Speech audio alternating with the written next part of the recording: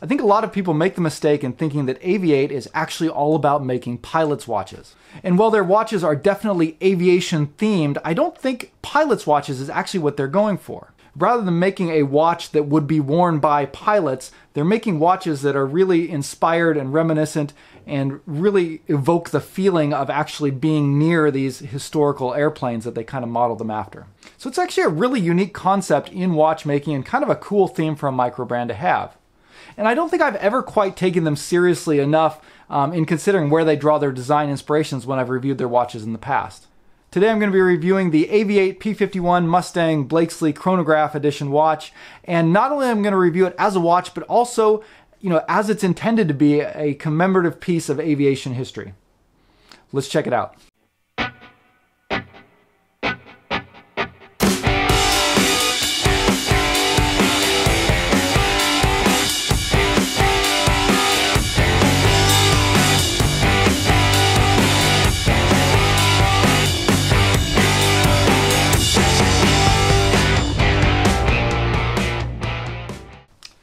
Hey everyone, welcome back to Just the Watch. My name's Dave, and as I mentioned in the intro, today we're going to be taking a look at a watch from AVI-8, which has a very long name, which is also very typical of their watches. And this is a very cool looking watch, as a lot of their watches are. And what they so often do in a lot of their best pieces is really take elements of a certain airplane and try and transform that airplane into a watch that you can wear on your wrist.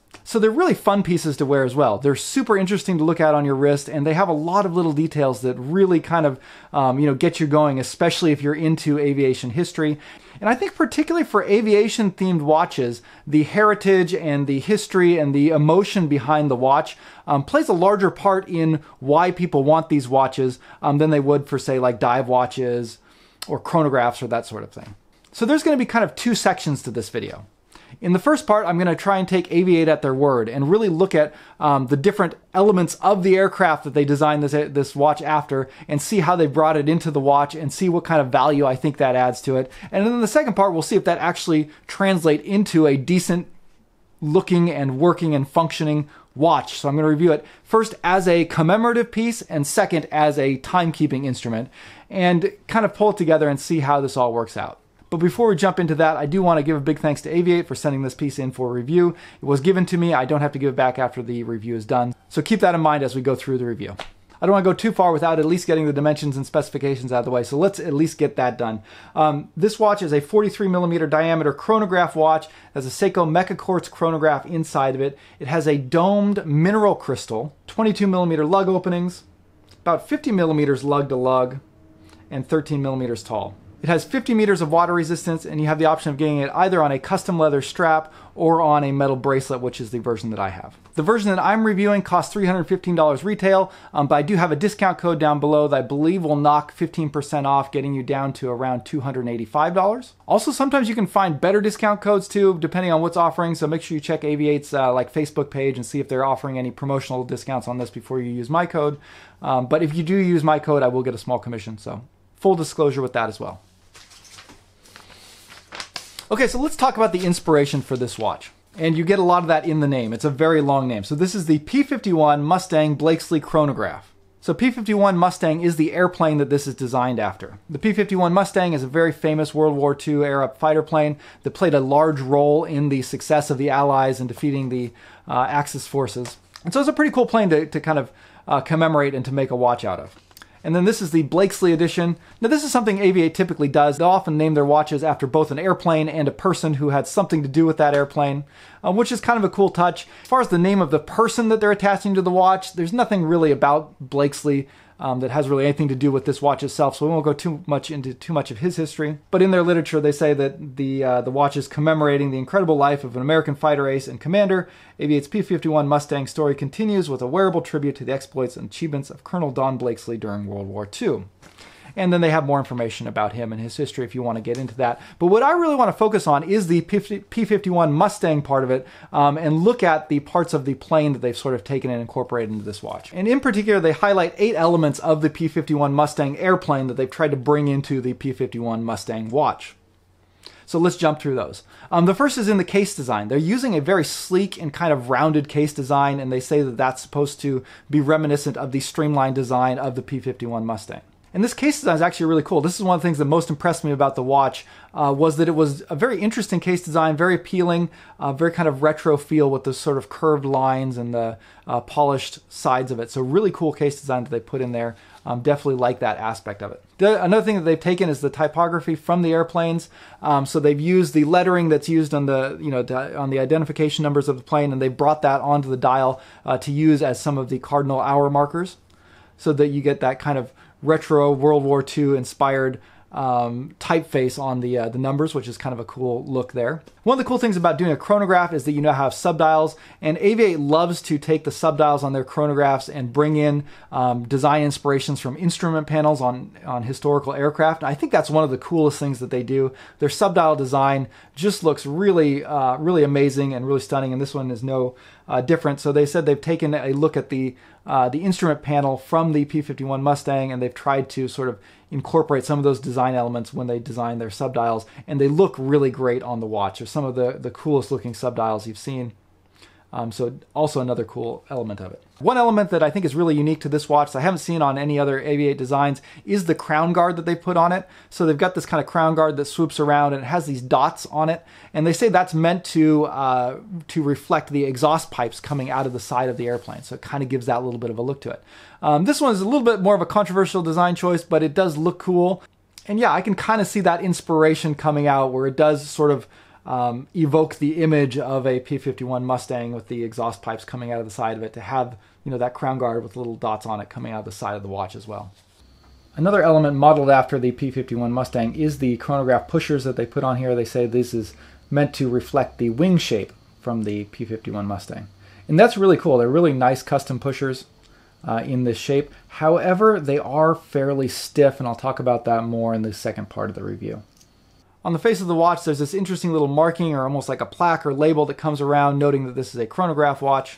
And they say that that, as- that element is taken from uh, the artificial horizon on the P51 Mustang. This is uh, getting very uh, detailed into their thing there. I couldn't actually find any shots of a of the artificial horizon that had that marking on the internet, but apparently one of their designers saw it in some picture or stock photo or some way and decided, hey, that's kind of a cool little element. Let's put it on the watch face. Um, it doesn't really serve any purpose on the watch, but again, the whole point of this is to sort of evoke that feeling of being around the airplane, and I think it is effective in, yeah, at least kind of that element of it. And then they decided to go with a multi-layered dial where it's kind of divided into sections. This they say was inspired by the instrument panel on the uh, the P51 Mustang, where you know it would have been divided into different sections, and some parts would have been raised a little bit more than other. Um, that I can see, but overall, it has, it's actually just a really cool looking dial. I like the different layers on it and sort of asymmetry to it. Um, yeah, it does again sort of make you feel like you're sitting in front of a cockpit and looking at the instrument panel of a cockpit when you check the time on your watch. And then for the handset, they've taken inspiration from the altimeter on the uh, the instrument panel from the P51 Mustang. This is something they do in a lot of their watches. A lot of their handsets are very reminiscent of airplane altimeters, and a lot of their and even their 12-hour layouts oftentimes are, are meant to mimic uh, an altimeter. And this is really effective too. They're, they're, it's a really nice handset that they put on here. Um, definitely like it, and the counterbalances on it I think really play into that feeling of it being like an instrument panel or like an instrument gauge. Um, so yeah, so you see that as well. So those are all the elements of the P51 Mustang that they've taken and crammed into this watch. And again, from a sort of emotional standpoint and a visual standpoint, it's very appealing and very effective.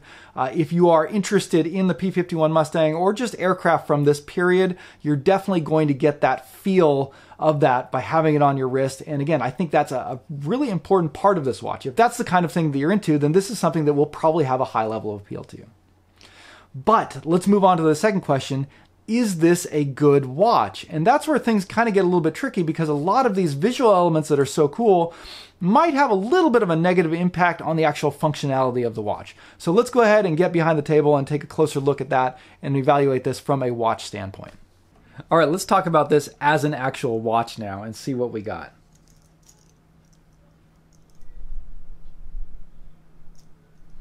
Now I want to start again by going back to the case because again I think this is actually one of the coolest case designs I've seen coming out of AVI-8.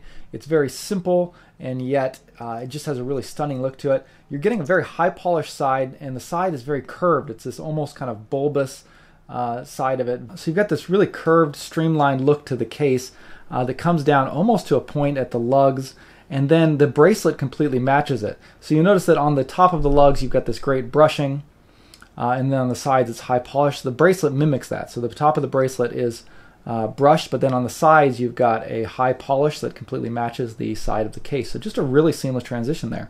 Um, also, you'll see that the case comes down into a pretty uh, steep point here you know, at the lugs, you're getting 22 millimeters at lugs, and then the bracelet again follows that that same line where it you know tapers from 22 at the lugs all the way down to 18. So you get a really steep taper on the bracelet as well, and I think that just really matches the shape of the case perfectly. They did a really great job of blending the bracelet to the case. Now, one thing that I'm not as happy about with the bracelet is that it is a bit rattly.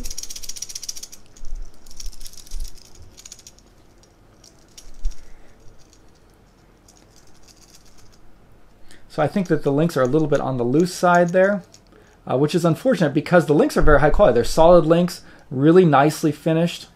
And the clasp also is a pretty good clasp. You're getting a very nice milled clasp there. Uh, so everything should be, you know, in order there, but for whatever reason, it's just a little bit on the rattly side. You can also see you get solid uh, end links in there, and then a really nice and a really nice engraving on the back of it too. As you can see the P-51 Mustang on the back, which is a cool touch for a watch that is so heavily inspired by the aircraft. Um, it's nice to actually have the aircraft uh, on hand at all times.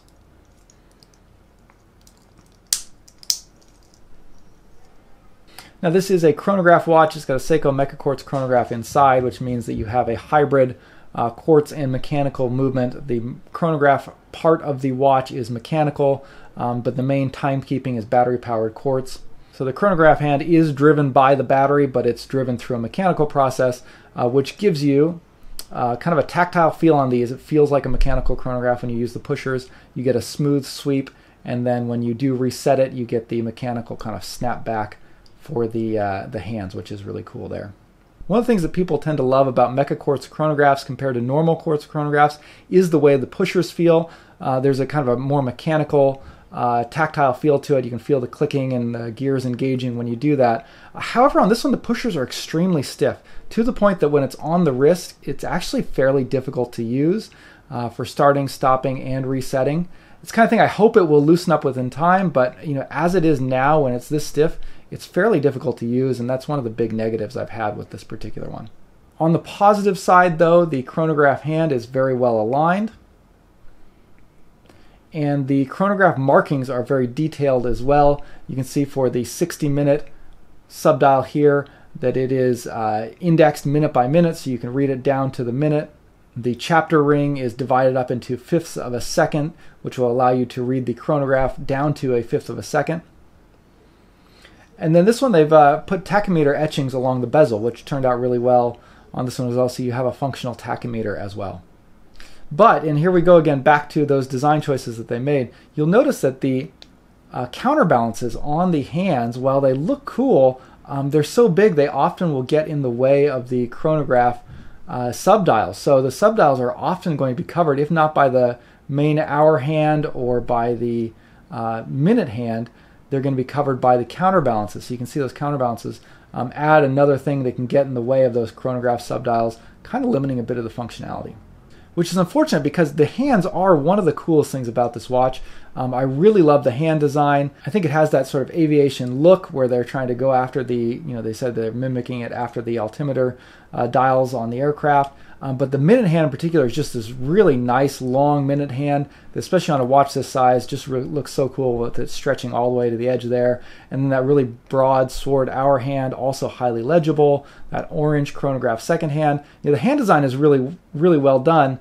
Uh, and the counterbalances look cool, but again, you know, this being a chronograph, you know, functionally it kind of is, is hurt a little bit by those counterbalances.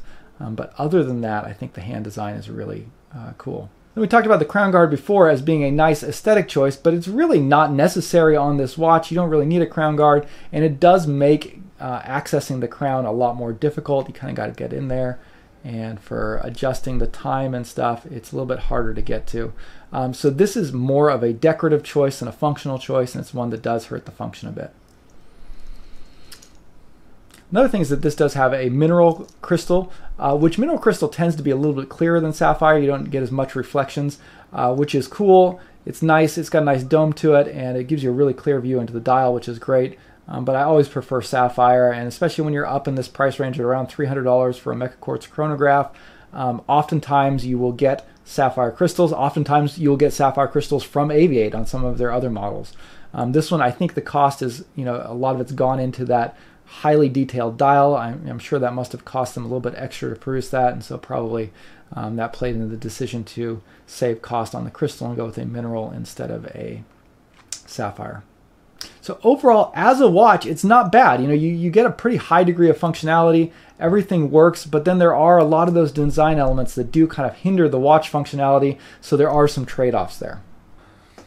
We'll take a quick look at the lume. There's nothing particular spectacular about this one, so we're not going to do a full lume test, but the lume is good. It looks really cool after dark. Um, even in daylight, you know, walking from a brightly lit room into a dimly lit one, you get a pretty strong glow, and it's very functional as well. So I think they did a good job with the lume, but it's nothing particularly impressive. Kind of holds its own with a lot of other pilots' watches, and I definitely appreciate that aspect of the watch too. So let's try and sum up everything we got going on with this watch and talk about whether or not this is actually a good value for the money that you're getting. I think the design is definitely one of the strongest points of this watch. It's a very unique design, um, very cool, especially if you're into aviation history, and really well done. The dial is incredibly intricate and really does sell the idea of you know you sitting in, in an airplane cockpit uh, when you check the time on your wrist. So it's a really fun watch to wear from that perspective.